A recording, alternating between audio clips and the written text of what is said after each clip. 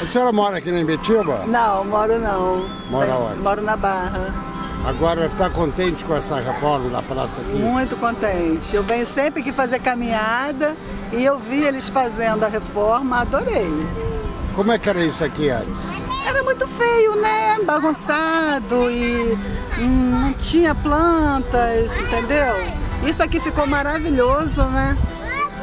E era um ambiente sujo, abandonado? Exatamente, estava abandonado. Agora não, agora está muito bonito, muito organizado. Ok.